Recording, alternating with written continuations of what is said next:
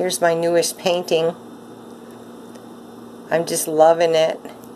Here's a path going all the way up. Here's some boulders. All these beautiful boulders with multiple colors in them going to the cave. You've got this part here and over here that look like a canyon or something washed and on this side washed with the sun.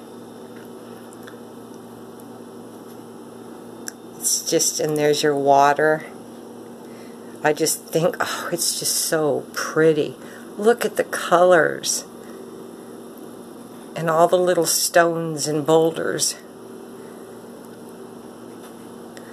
I was just too excited and I had to film it. Okay, talk to you later.